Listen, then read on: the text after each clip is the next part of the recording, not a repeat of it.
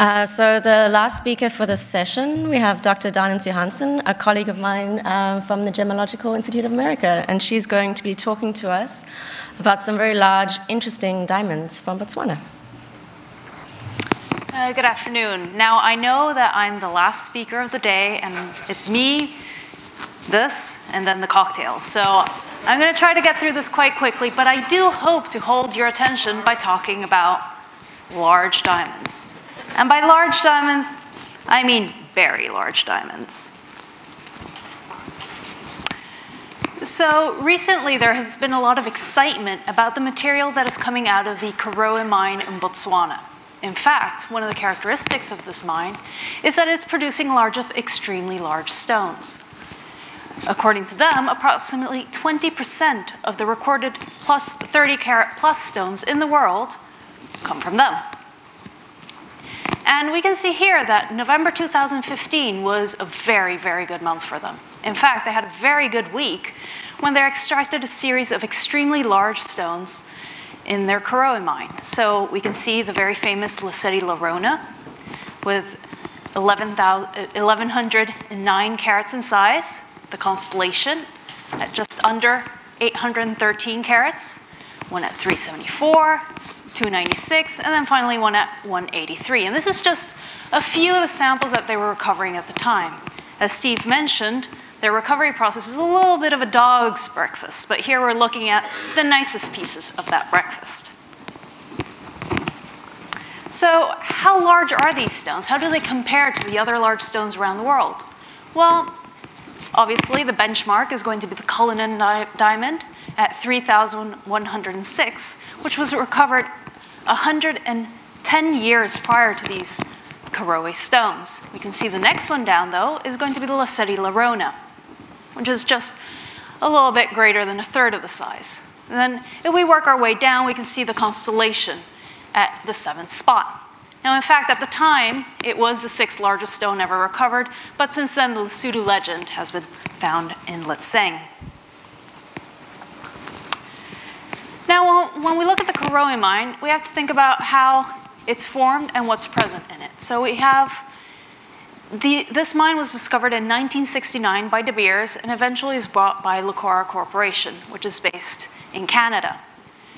Lucara created an open pit mine that opened in 2012, and they approximately have an annual production of 380,000 carats.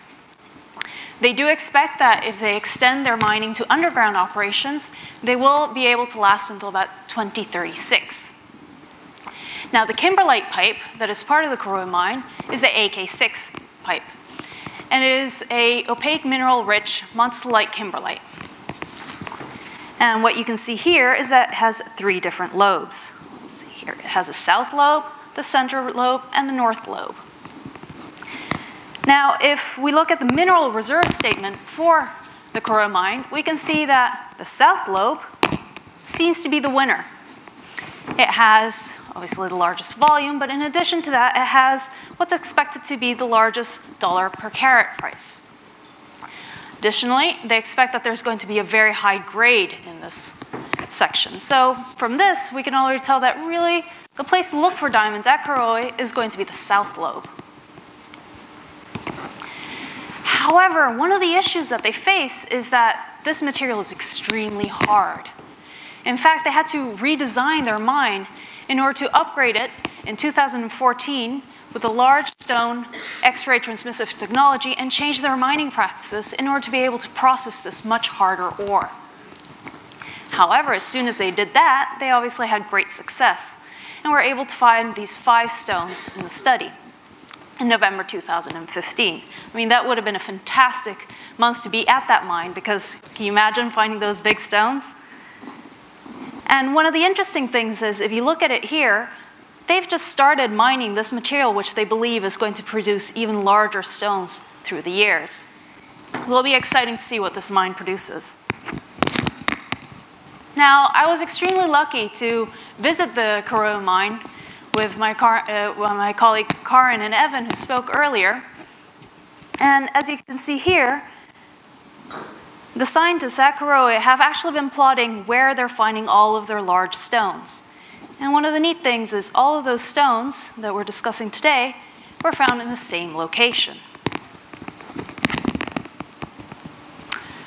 So obviously we're going to start wondering, are they related in any way? So significantly, Lucara has already stated that the Lesedi La Rona and the 374 carat stone are considered to be part of the same rough, i.e. they broke off at some point. They call it a sliver of the Lesedi. However, if we look at the Lesedi La Rona, and we notice that this is sort of where the 374 carat stone fit in, there's still a large unaccounted for cleavage face. This is where we really started wondering whether these stones that are remarkable in size, remarkable in clarity and color, might actually be related. Are they part of the same rough? And that is really the key question that we're trying to solve here. So thanks to the clients that GIA has, we've actually been extremely lucky to inspect these stones at different stages of their process. We are able to look at the constellation, the 296 and the 183 carat stones in their rough forms. And additionally, since then, they've started cutting these stones, and we've been able to investigate the faceted forms as well. The Lesedi La Rona, we have access to two offcuts, as well as a range of smaller stones that have been cut from the Lesedi. And then for the 374 carat stone, unfortunately, we weren't able to inspect the rough, but we have seen the faceted diamonds produced. Now, I'm going to try to link them based on spectroscopic tools. It would have been lovely to have all of these different pieces together in the same room at the same time, but unfortunately, that was not the case. So instead, we're going to look at the presence and absence of defects, these impurities that several of our colleagues today have been discussing. One of the techniques that we use that is very powerful is FTIR. It's looking at the absorption of light as it goes through the diamond in the infrared range. And one of the interesting things is that the Lesedi La Rona has both type 2A and type 1AB portions. It has a section that is very high purity material with no nitrogen, and then it has another section that appears to have a significant concentration of B centers. So these are four nitrogen atoms surrounding a vacancy. And this is something that is produced through geological timescales as the isolated nitrogen aggregates into this final form. Now looking at the FTIR absorption for the other pieces, we found that they also are type 1AB. And we were able to quantify this and found that it was approximately 20 parts per million. Now one of the key things here is that to make them the largest type 1AB stones ever recorded, so that's interesting. But also, you'll see they actually match really quite well. All these type 1AB sectors have the same concentrations. Now this is rare. How rare is this? Well, when people usually think of large colorless diamonds, they think of the beautiful type 2A diamonds that Evan was speaking about earlier today. They account for approximately 1.3 to 2% of natural gemstones. And they're prized because people think of them as being extremely pure. However, we start looking at the, the type distribution of the larger stones that we see coming through that are D to Z color, we find that in fact the type 1AB diamonds are significantly rarer. At these size ranges, the type 2 diamonds, sorry, the type 2 diamonds account for approximately 25% of the stones, as the type 1ABs only account for approximately 1% of the stones, so they're very, very rare. Based on the inclusions and the diamond types of these materials, we do expect that they probably originate from the sublithospheric mantle, or possibly even deeper, due to the associated metallic liquid. Now let's try finding a little bit more evidence. Let's analyze some more defects that we can see. So one of the other techniques that we have available to us is photoluminescence. In this case, we're shining a laser at the stone, and then the defects react and emit light. And this gives us the signature of the defects present. Typically, natural diamonds are going to show very highly variable photoluminescence characteristics. Some defects will be present in certain stones, some will be absent in others, and their relative concentrations are key indicators of the history of the stone. What we can see here is the photoluminescence spectra that was collected for all five of these stones using the 488 nanometer laser. And what we can see is the presence of the H4 defect, the H3 defect, which is two nitrogen atoms surrounding a vacancy, and a feature F505. And one of the things you might notice here is that the relative intensities of all these peaks match up really nicely. Additionally, we looked at the width of the H3 peak because that gives us an idea of what the level of strain, how much stress this sample might have been at. And what we can see here is that they all match up really nicely. But I want some more evidence. Let's keep going. Let's analyze a little bit more. So we use the 514 laser instead. We can again sample different defects that are present in the material. In this case, the only thing we really saw was a GR1 center. So this is just a vacant lattice site. Additionally, very weakly, which doesn't show up very well here, there's a very, very weak 637 nanometer peak that's associated with the nitrogen vacancy center. The similarities in the peak heights and again the peak widths gives us very, very compelling evidence that these five stones are in fact part of the same rough, or at least they were formed in identical conditions. One of the things that you have seen earlier this morning was using the deep UV fluorescence for imaging of um, diamonds to see the growth zones, the growth sectors that are present. In this case, the 812 carat sample, we had to build our own kit because it was a little bit too big to fit into the diamond view. But nevertheless, you can see here that this sample appears to have two different growth zones. You have this brighter region here and this dimmer region at the bottom. Let's ignore for a minute this little darker region here because that just has to do with the secondary iron oxide staining that's present in the stone. If we look at the 296 carat stone and the 183 carat stone, which were actually the stones that we looked at first, at the time we didn't have our own kit, so we were able to squeeze them into the diamond view and just look at a few different sectors. So here we can see again a bright zone and a darker zone. And it appears that there's a line going through. And here again we can see a bright zone and a darker zone. So from that, we can already see that there are at least two different zones in these three stones. Additionally, the faceted stone that was produced from the 374 carat stone also showed two zones. And the Lesedi Rona, we know, has at the very least two zones because there's a type 2A sector and a type 1AB. There were also a few inclusions. Generally speaking, uh, CLIPPIR diamonds such as these are going to have very, very low concentrations of inclusions, but we were able to observe a few that appear to be metallic in character, again, consistent with the CLIPPIR story from Evan. Also, three of these stones have this metallic reddish rust, effectively, um, inclusions that are just alterations from the interior material when they were exposed to the uh, surface. So again, these are samples that are very, very consistent. Now, I'm going to try to match some of these stones. When it comes to 812 and 296 carat stone, and we consider the different bright and darker zones that we observed in the fluorescence imaging, we can see that these stones actually do seem to fit in very nicely. You can see I've labeled the different corners, and you can just, like a clamshell, close them together. Let's see if we can do that with some others. Well, the 812 and 8, uh, 183, again, we were able to inspect those rough stones and had a series of images taken of them. And again, like a clamshell, we were able to join them up. So this corner here would match up here, and you can see, again, this feature, the step.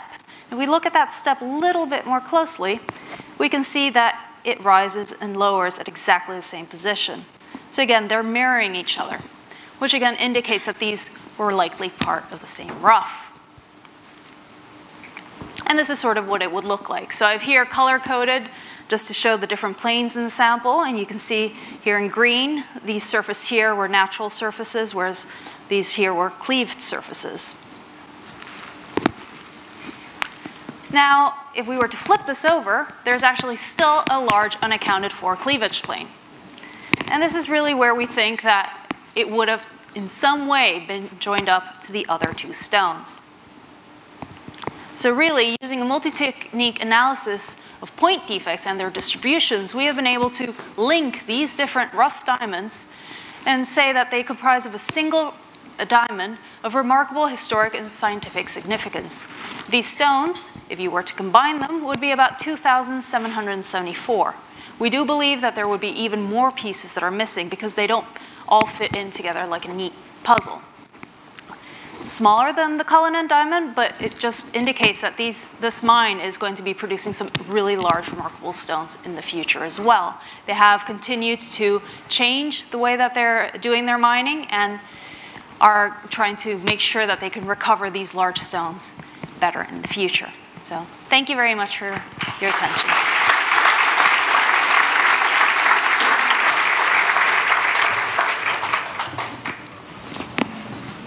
Uh, are there any questions for Ulrika? Go ahead. Maybe a very stupid question. I, I, I was a mine owner, I was more excited if it found that they were different diamonds. The fact is, could it just be one thing? Why do you think there's more is? Well, yes, this is a freakishly large diamond, as you say, but at the same time, you've seen the images that uh, Graham was showing us that was just lots and lots of large diamonds. So, yes, these are extremely large, but there are still plenty of 100 carat pluses coming out of there. Uh, thank you for a nice presentation. Uh, just a question about types. Uh, mm -hmm. I see a quarter of the all diamonds are 2A or low nitrogen 1AB. Beside the higher colors, uh, there are also lower colors, light brown, that could be HPHT treated. Does the company uh, selling these uh, as potential stones for HPHT treatment, or it's only selling rough, rough as it is? Uh, would you mind repeating? Is it uh, some light brown stones that potentially could be HPHT treated because they are low nitrogen diamonds, type 2A? What colors are, are, coming from the mine? Colors. Well, from the look of it, they have a range of different colors. Obviously, the, the ones that we're seeing mainly are the colorless material. Um, if they do have type 2A brown material, yes, that would be a candidate for decolorization. Yes, Jim? This is more of a curiosity question you may not know the answer to, but one of your slides you mentioned they installed new X-ray equipment. Do you know anything about that technology? Presumably it's to catch larger stones before you go into the crusher. Uh, what are they doing? Do you know? Um, I'm afraid I don't really know too much about that. Sorry to disappoint. But if I can access my slides again. Thank you. But I can show you at least a neat diagram of it if it scans through. Oh, sorry. There we go. So that's pretty much a, a diagram that illustrates their uh, processing at the Karowe mine. And you can see that they go through several different levels.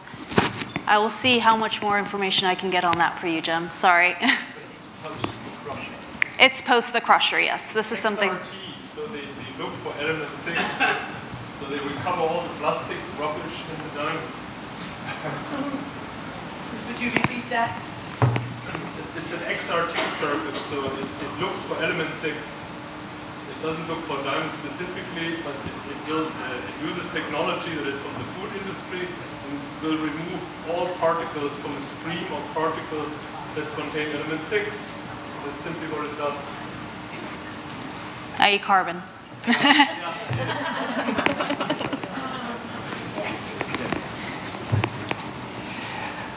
Are there any other instances of, of uh, type 1A or type 1B growth um, upon a type 2 diamond, or is this, or is this unprecedented? No, we have actually observed um, uh, diamonds that have type 2 and type 1AB hmm. uh, joint growth. Right. Well, thank you. So sing, single faceted stone. So ideally what I'd like to see eventually is from, from the Lesedi, some of the pieces that they're cutting, I'd love to see one that actually comprises those two zones. Thanks. Well, if there are no other questions, um, let's thank all our speakers again for the session this afternoon. Thank you very much.